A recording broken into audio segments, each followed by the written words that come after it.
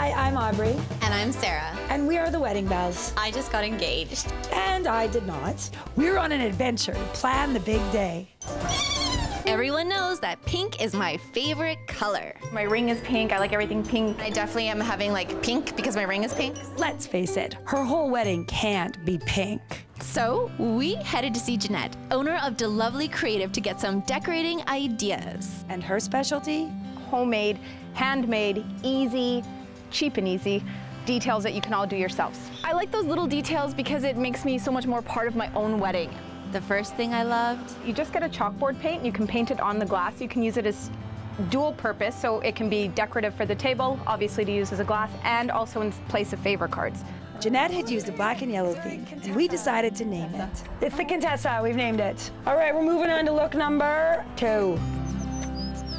There's a poof! I love poofs! There's a pom pom. and then Jeanette explained, Most banquet halls, restaurants, you get your standard white tablecloth. Okay. That usually comes with the price of everything. So instead of just First of all, going straight to doing a runner. Yep. To add in that color, ribbon, you can get yards of it for really inexpensive. And then I came up with an idea. Some of your guests or your grandparents Photos. put old wedding photos up. They're like, oh, that's my wedding, or you know, or your grandparents. Like my grandparents are are gone, so I'd love to have them. Like, oh, now I'm getting all emotional. This is so silly. While Sarah got all emosh thinking about her grandparents, we named the look Alice's Wonderland.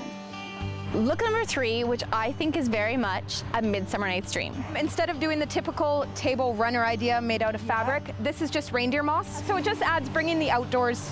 You can get this in any forest. Like the chandelier is just Yeah. dripping with this beautiful. Whoa. Oh, I'm such a klutz. I wrecked the masterpiece.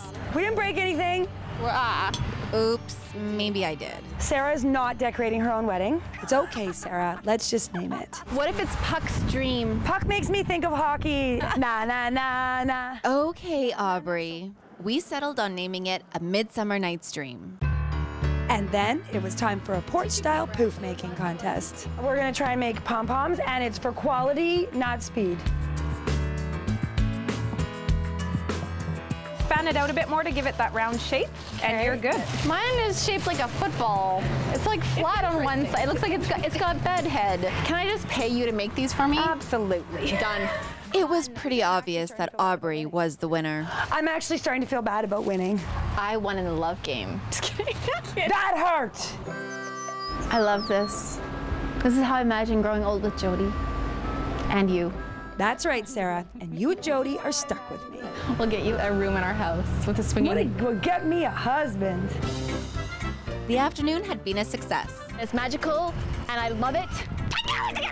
While I started dreaming about decorating my wedding, We enjoyed the rest of our day in the country, even stopping to smell the roses. for Shaw TV, we're the Wedding Belles.